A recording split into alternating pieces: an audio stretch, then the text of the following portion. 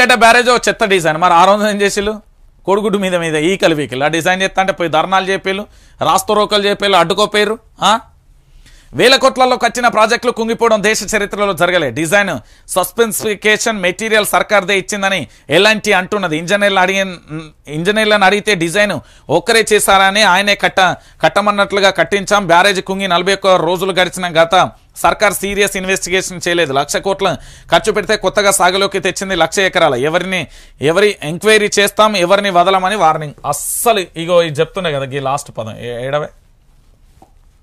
ఇదే మాట మీద కట్టుబడి ఉండాలి. ఇగో ఇది.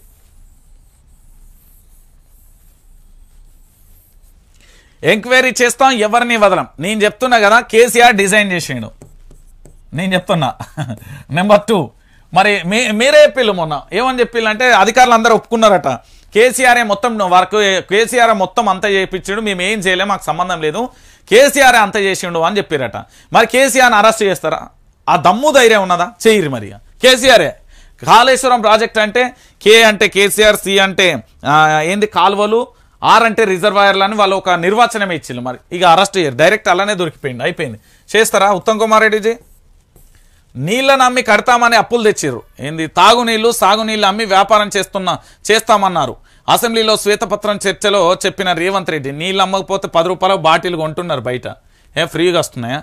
పదకొండు రోజులలో మూడు కోట్ల మంది మహిళల జర్నీ. మహాలక్ష్మి స్కీమ్కు ఫుల్ రెస్పాన్స్. సగటున రోజు బస్ ఎక్కుతున్న ముప్పై లక్షల మంది మహిళలు. అరవై తొమ్మిది శాతం నుంచి ఎనభై ఎనిమిది శాతం వరకు పెరిగిన ఆక్యుపెన్సీ అవునవును పెరిగింది. కానీ బస్సులో అర్ధ గంట కోటొత్తాని చెప్పు రాష్ట్ర ప్రభుత్వానికి.